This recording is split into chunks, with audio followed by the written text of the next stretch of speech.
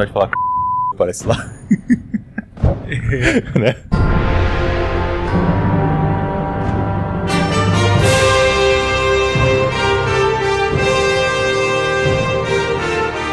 E voltamos com Vale a Pena da Pena, que é o Miotti. Aqui é o Brunão. E aí, Brunão? Rabi César. O novo filme dos irmãos Coen. Que escrevem, produzem e dirigem. Ah, eles fazem tudo. Faz cara. tudo, né? Fazem tudo. Porque ninguém quer ver o filme deles. Não sei, cara. É porque eles gostam de fazer isso, né? É. Eles têm uma tradição de. É Mel Brooks. É, Né? é. Cara, eu gosto muito dos irmãos Coen. Todos os filmes deles, eu sempre tem alguma coisa que eu gosto. Os caras são, são bons. Eu gosto. Eu gosto bastante. Eles fazem cinema mesmo. Não fazem É, porque esse filme é Filminho. cinema. total, cara. O filme é total homenagem ao cinema. O Josh Brolin, ele faz o resolvedor de problemas do estúdio. Ele é É tipo o gerente. É o cara que vai resolver problemas de relações públicas do estúdio, problema do ator que ficou bêbado e caiu na sarjeta e não pode sair na imprensa, é o problema da atriz que tá grávida e é solteira e, na... e esse- o filme se passa em que 1950, 50, por aí, 1940, né? Por né? aí, entre nessa 40 e 50. É, acredito que logo depois da Segunda Guerra, talvez 55, alguma coisa assim, é, porque porque mexe com o negócio até com. é, né? não fala. Não vou falar. Não fala porque, ali estraga. tá- é, pois, pois é. é. Mas eu acredito que deve ser 1950, E tem o George Clooney, que George seria Clooney. o grande astro, né? que é o grande aço do, do estúdio, Que é sequestrado. da forma mais tosca possível. Totalmente. Só naquela época.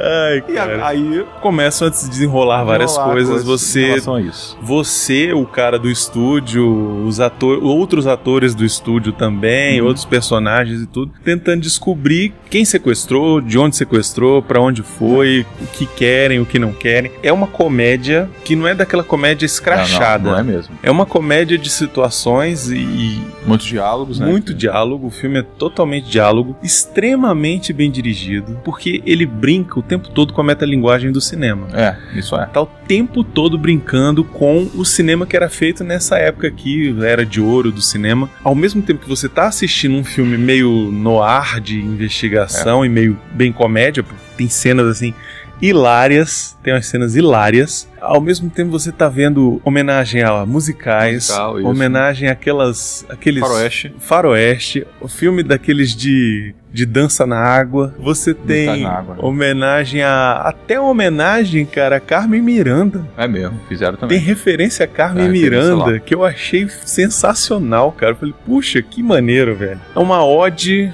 ao cinema clássico. E o filme em si, ele segue muito o padrão do filme clássico. Ele não é um filme que tem pressa de acontecer. Ele vai devagar, ele vai na dele e vai acontecendo. Então, pro público de hoje, talvez vá achar o filme bastante lento. Não é filme pro público Não hoje, é, fu- não Não é é. filme pra qualquer um. Se você é o espectador casual de cinema, eu já digo aqui, não, Não vá mesmo, porque não você vá. não vai gostar. Agora, se você é amante do cinema, amante de filmes dessa época, é impossível você não se divertir.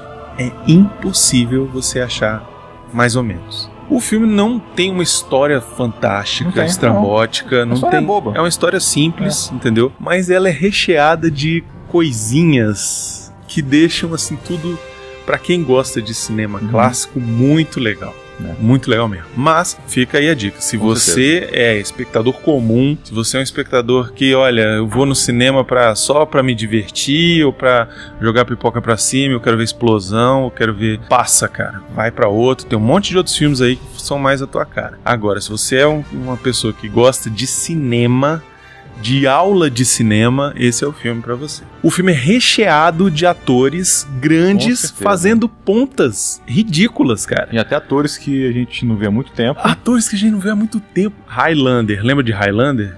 Highlander tá fazendo 30 anos, meu. 30 anos, né? 30 É anos. de DLC isso mesmo. E eu tenho certeza de que os irmãos Coen amam Só pode Highlander, ser. porque eles Só pode botaram os dois atores principais do filme aqui, cara. É. E eu fiquei assim, meu Deus, como eles estão velhos. É. Mas é maneiro, é maneiro, os dois estão ali, é, É. muito divertida a participação deles. Tem participação do Jonah Hill, que aparece três minutos É, de cena. Por aí. O Channing Tatum É, tá ele tá excelente, viu? incrível nesse filme, cara. Velho, Também aparece rápido, mas ele aparece tá... rápido, mas é Nossa. fundamental pra trama. Com certeza. O Channing Tatum merecia alguma coisa por esse filme, cara. É mesmo. Merece meu respeito. A última cena dele... A última cena dele é incrível, cara. É incrível. A Scarlett Johansson, Nossa. que tá fazendo um papel completamente diferente. Tem o Ralph Fiennes. A Tilda Swinton faz duas personagens.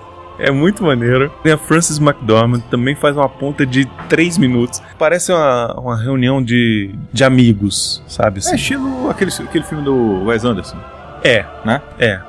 Nesse Exato. estilo, é nesse É estilo. nesse estilo, exatamente. Chamou de ator famoso pra fazer um minuto de cena. Exatamente. Porque gostam de trabalhar com esses É, é diretores, isso. né? São, são. Assim, de repente o cara falou: ah, não, eu preciso fazer um filme dos irmãos Uhum. Coen.